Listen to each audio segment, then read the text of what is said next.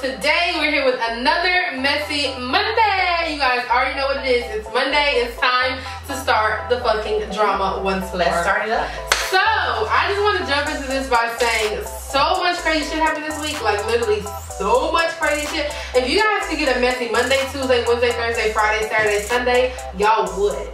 But but It don't work like that. it was so much shit popping off, and I was like, oh my god, Kelsey. This shit, I was riding to work, and then as soon as I like opened up Instagram, boom. I fainted. I, I was like, milk. oh, Rob Kardashian and Blac Chyna, bitch. First of all, Rob versus Blac Chyna. Rob versus Snoop Dogg. Rob versus T.I. Rob versus Charlamagne tha God. Rob Every other the nigga. Rob versus the world. Hell to the no, no, no. Come on.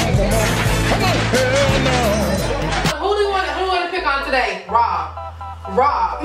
Rob. Rob that ass. We're gonna put a lot of memes in here, like that people made. And yes. videos people made. I know J. Cole, you know this girl named J. Cole, she had she was like Vine famous or whatever. She made like she was mad that Blac Chyna um used plastic surgery and not flat tummy tea, but she was advertising flat tummy tea and she was like, I want my coin. This video was dedicated to Blac Chyna, flat tummy tea, all that shit. I need my money, ho. Because Yeah. I've been drinking uh flat tummy tea like it's been pink moscato. First of all, let's start off with the beginning of the story. Here comes 4th of July, right? 4th of July. And you know, Rob or whatever, he, you know, chilling, just mind his own business. He get a text message, you know? And it's Blac Chyna and some other nigga kissing. Just what my family happy. I understand. And underneath the video, he she sends her she sends him a have a happy Fourth of July, and I don't see how she didn't expect some kind of reaction. Like, bitch, you arose their reaction from deep within this man's soul. You feel me? Whether or not y'all weren't together or y'all were together, it does not matter. I can understand that she probably was like maybe trying to get back at him. I don't know for what because obviously just a couple days before he spent 25k on jewelry for her just jewelry that she showed i'm gonna put the picture in here for you guys but rings and bracelets just a fucking diamond rolex like just buku ass jewelry that happened and rob went ahead and he started to expose the living fuck out of blac chyna bitch. it was Instagram picture after Instagram picture. I kept having to refresh because I didn't want to miss no tea. But he goes on to talk about how um, uh, Blac Chyna is on drugs. She ordered a party pack uh, of cocaine and Molly and just buku alcohol and just all kind of crazy stuff saying that she has men in and out of the house in the bed they sleep in that they made dream in and that he wouldn't stand for her having men in and out of the house with his daughter there just really exposing this girl's life and so boom you guys Boom! here comes the picture, naked picture. For you guys to see. Of course, I'm gonna, you know, blur everything out. It was pictures of her cootie cat, pictures of her titties, pictures of her ass, just all kind of pictures exposing this girl. And then he posted, you guys know how Blac Chyna said that, you know, she lost a lot of weight, she's getting on the scale. She never verbally said out of her mouth that she was doing a um, weight loss program or she was dieting to lose weight. But she was promoting flat tummy tea like always. And she was getting in on and off the scale as if she was losing weight. Also having workout videos, you know, kind of like she lost the weight organically. But Rob exposed that ass once more and showed the video of her being rolled the fuck out. Surgery. To get that tummy cut the fuck off, to get them titties fixed the fuck up. Because, honey, I don't even know. I'm pretty sure whenever you get surgery or whatever, you're not supposed to be eating like foreign things. You have to keep your stomach like clean or drink water, eat vegetables, whatever. That's what I heard. I'm pretty sure you're not supposed to be eating no fat tummy tea. But anyways, like I feel like all this stuff was going on, right? Did you see Kim, Khloe, Kylie post anything about any of this? No. They were like, they were in a whole facade. I feel like they sent out a group text to each other, like, don't say nothing about it. Just post stuff like nothing is wrong, all that kind of stuff. They, they, they know what they're doing. Okay, so Rob also posted the guy, one of the alleged guys that who's not alleged anymore, that Blac Chyna was sleeping with, and this alleged guy also spent 135k worth of jewelry on her, but he revoked that shit. He pulled that shit back. Once all this transpired, he pulled all that shit back. And he was reaching out to Rob for help because he said that she had bills that were too expensive. He couldn't pay. He was trying to make some kind of money off of like some kind of show, reality show they can go on. You know, just reaching out for money because obviously like Chyna's bills were not nothing that he could handle, which I could see, you know. And while all this was going on, like trying to post it up on Snapchat, you know, the Cardi B song in the background, and her just showing off her jewelry. Like, bitch, I'm unbothered. She was on vacation, look like unbothered. While all this is going on, I'm having a mental fucking breakdown, and this bitch can fuck with me if you wanted to. These expensive, these is red bottoms, these is bloody shoes. Not sure that was a song that was playing, but you get the gist. It was a Cardi B song, any Cardi B song trying to shit on anybody, to be honest. So it could be anyone that she picked and is still shitting on Rob. But anyways, that happened, and once that whole situation transpired, of course, everything kind of settled down once Rob Kardashian's Instagram got deleted because of the obscen- obscenities that he was posting on his page. Ferrari was saying that the whole thing was just payback because supposedly Rob slid in his uh, baby mother's DMs. Her name is Bonita, and was trying to talk to her. So Ferrari was just trying to get back at Rob with this whole situation, which I don't believe because this has obviously been going on for more than enough time. You know, the niggas laying up in Rob's bed with Rob's robe on. You know, he's been saw with Blac Chyna a couple times with Rob that he's seen it before. So I don't believe it was payback. I believe that it was literal, like he felt like that he was trying to come up off of Blac Chyna and of course Rob. If anything, this is like a really, really, really bad publicity stunt for a show coming up really soon. I guarantee you. Please Don't be fooled, you guys. don't sleep. That does not end there, you guys. It was Rob versus everybody. Snoop Dogg said, I'm gonna post what he said in here. He said that Blac Chyna did what she was supposed to do. You a sucker, you got licked. That's your fault. You got played. It is what it is, nigga. She did what she was supposed to do. You knew she was in the beginning, and that's who she's always been. T.I. weighed in, which I don't feel like he has any room to weigh in on anybody's situation at this point, to be honest. Not that I hate T.I., but I mean, you got your own shit going on. Let's, let's be real. But he weighed in and said that you know, basically the same thing that Rob was some sucker shit, and that you know Blac Chyna just did what she was supposed to do, and Rob was like, "Honey, you paid my baby mother, you paid Blac Chyna to have a threesome with you and Tiny, so while you're trying to go in on me, how about you look at the man in the mirror?" Yeah. And Charlamagne tha God was called this man Rob the Blob, and he gave him Donkey of the Day today. It was just, you guys. T.I. said Rob is wrong for exposing like all of Chyna's business because whatever whenever you're dating a woman, it don't matter what y'all go through. At the end of the day, y'all tell each other really, really like intimate, close, private secrets that you should never reveal to anybody. I don't know. You let me know how you feel about this in the comment section below. I know it's kind of all over the place, but so many things have been like just running through my mind, running through my mind I'm like all the time to the point where I just want to say, get home. Hey, little bow wow, you just don't know the way you move so fast across the floor. gonna go ahead and let Rozari take the flow. Love is in the air for the celebrities. Love is in the air for the wonderful celebrities. Okay, not only Amber Rose, but you know Playboi Carti.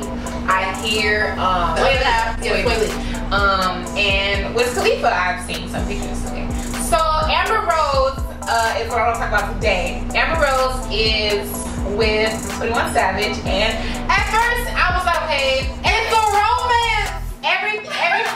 like every time I see a celebrity with another like celebrity that just like it don't match.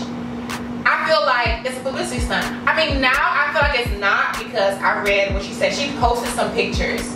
Like for instance, Kylie and uh, Travis Scott. This shit is like like subliminal messages. Like we don't know like what's going on. You know, I see him at her concert. I see her at his concert, but she just like fall the fuck back. But anyways, we're gonna get into Amber Rose.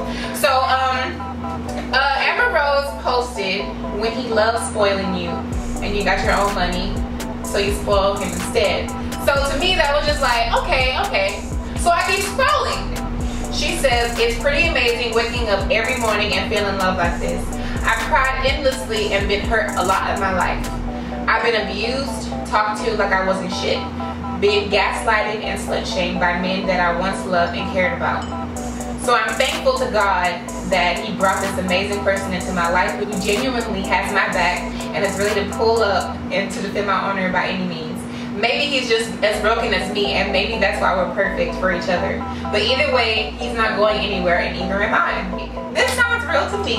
It does What sound sound like real. to? It sounds real. I saw them actually I saw them on the shade room, like TMZ had caught them walking to I believe it was his car. The paparazzi was asking, you know, what happens if anybody tries to talk shit about Rose? Like they, they it's gonna go down. But nigga, what you mean? Like they gonna pull up? Like it's gonna it's gonna go down?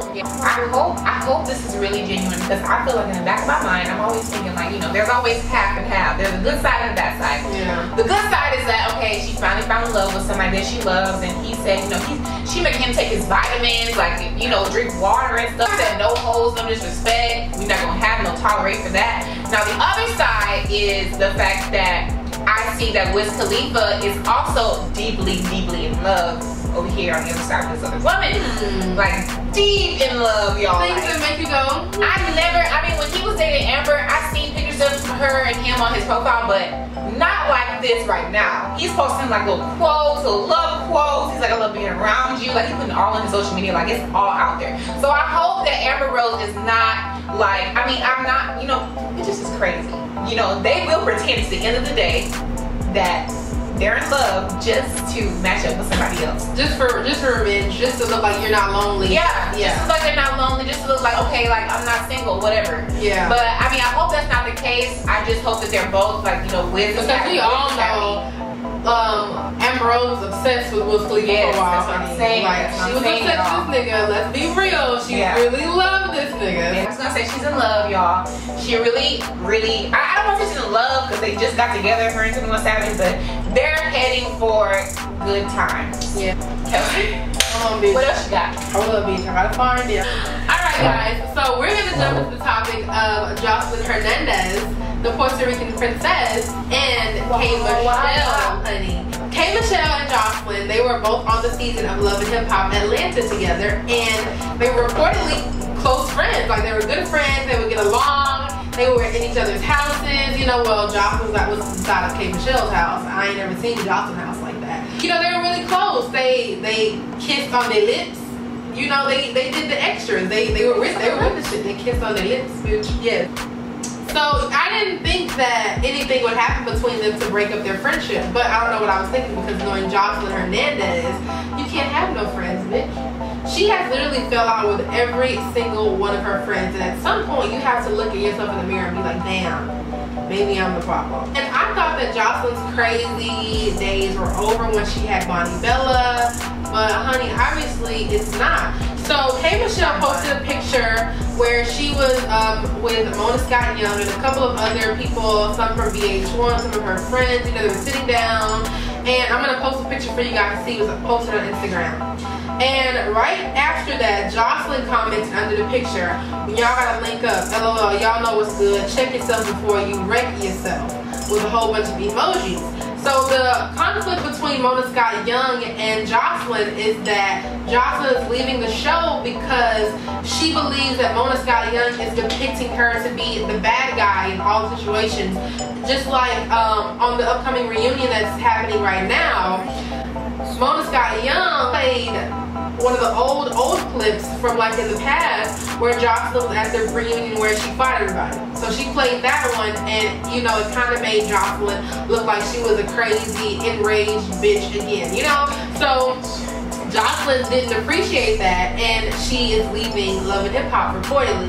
But you know, leaving Love and Hip Hop, you don't, you never know. Bitches really never leave. They leave for a moment, they go back on another season, be a whole new person. with a whole new persona. They have their own show that don't work out. It fell falls through, and they go back to Hip Hop. So you know, you really just never leave Love and Hip Hop. You just after Joseline said that, honey, you know, K Michelle, clapback queen. She don't let nothing slide. She lets nothing pass. She said, LOL, I didn't even do anything to you. I never spoke bad on your name, but let's go, Tyrone Biggums. And one more thing before I go. I was a great friend to you, and I even went and bought your 28 day crackhead challenge. Why are you mad? Joseline. I don't think you want to do this, Mamacita. Oh, and my last piece of advice to you as a friend, hang that music up, drop the mic. With the mic emoji, the peace sign, and the, what I did. You know what I did, bitch. Back. She also said, Joseline, stop hiding all your pounds of coke in the dressing rooms at the real. Shit. I thought that was a family show. At Joseline. she said, you was the same bitch trying to turn my mansion into the trap house, snorting coke in my bathroom. Bitch, give that nose a rest. Puerto Rican crackhead. I got some time before my meet and greet hoe. Chanel Benicor, all that cocaine you doing, you still manage to find the time to stick your nose in my business? You find time to cover me, but you can't comb that pretty little baby's hair? What a disgrace. Hashtag free Bonnie. She's going off at the mouth. That was not the end of that. Joseline then posted a video saying, what kind of mama are you? You never with your child. She didn't come out and say, K Michelle. She was just throwing subliminals to mothers who are never with their children, and she's trying to say that because you know we never really see Chase with K Michelle. K Michelle is kind of like on the road a lot. That's not saying that she's ever with a child. We only see half of her life on not even a real, not even the whole half on social media and her K Michelle My Life, you know? So she's kind of throwing slugs with that. K Michelle went and she posted something saying, I don't know how you breastfeed that baby while it crack, you snore, and just really going in. I'm gonna try to find the video for you guys, but Joseline, bitch, I think you lost this one. It's time for you to sit your ass down, okay? You can't go assuming that people are linking up to talk about your ass. You're not that big of a relevant, relevant part of people's lives for them to link up and have whole meetings about you, bitch. like, So what we gonna do about Joseline? What we gonna do, y'all? Girl, I don't know. Joseline has got into it with so many people. She got into it with Jessica Dime, Car- Karlie Redd, Tammy Rivera, Mimi. It's a late she got into it with Prima Donna who does the waist training, Stevie J, K Michelle, who like listen, Producers her, the her- Yes, like everybody. That must mean that she is the actual problem. And her friend now, um, Dawn, her and Dawn had got they hated at one point, but now they're all of a sudden best friends. Hmm.